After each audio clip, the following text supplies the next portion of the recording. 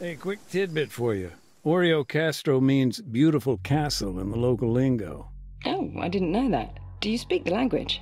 Not so much, only with the older generation. Not a problem now, though. Oh? Well, Oreokastro's pretty much a ghost town. Nothing here but remnants of war and a couple of goats.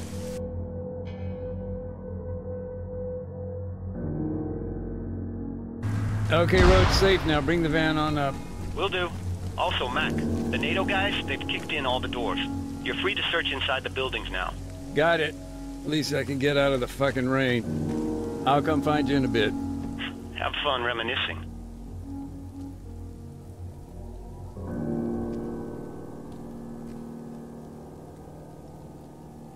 I'm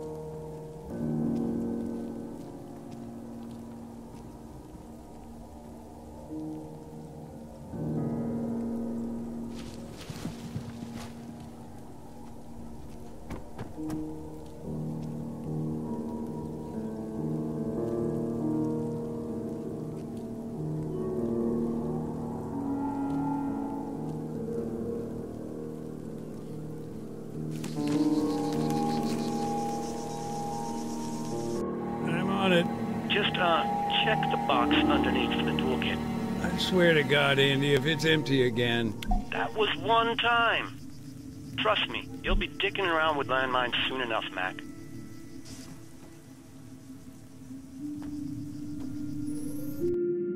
The siege of the town? My notes suggest it lasted for two weeks. How could that be? Divine intervention. Pardon me? No, just the weather. Got in their way. Weeks of thick cloud cover blanketed the town. I'm still not sure I follow. It prevented the army from calling in CAS.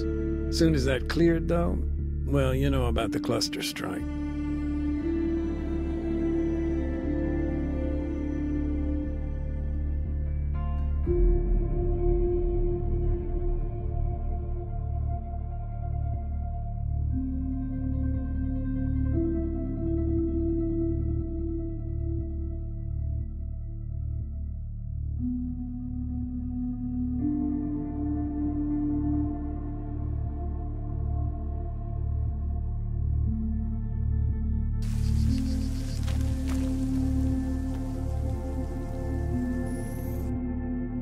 I often read articles about war and video games, the digital battlefield and such.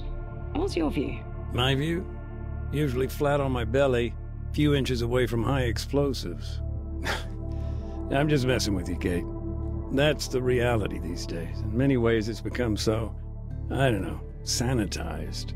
A few pixels on a screen, a drone in the air, and a guy sitting somewhere on the other side of the world, ready to click a button. To Mars.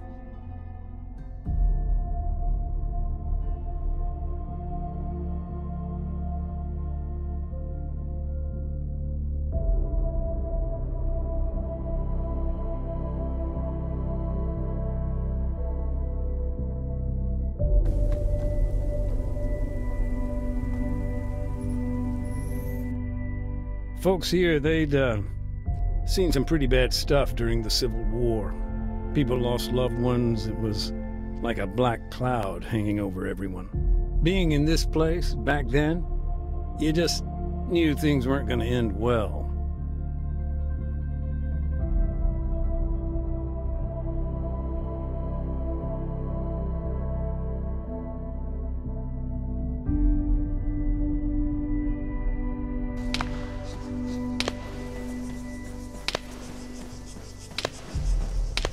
Alexis knew the town well, of course.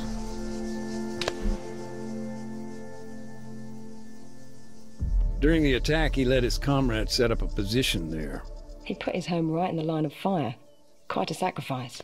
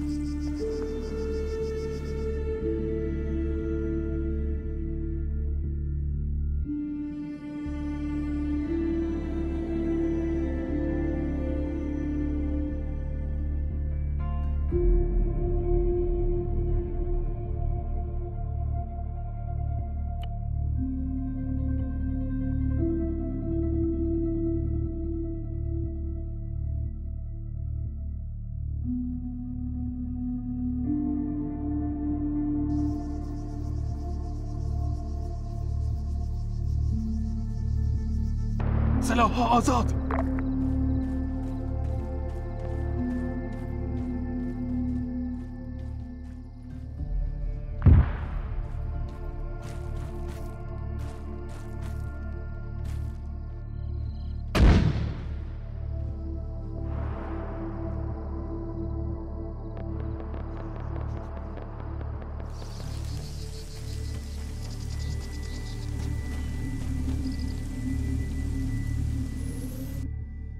You know, Adams, he had a couple of guys on his team. One was a real comedian, Private Nelson.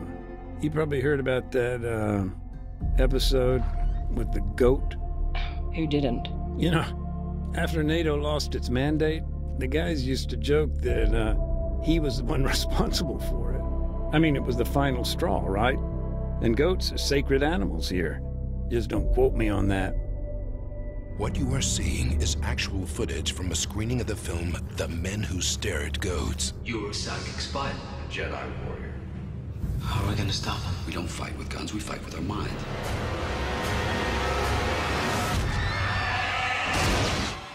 Every night I would dream about that goat. Its mouth opening and closing. Goat didn't have a chance. The Men Who Stare at Goats. Rated R.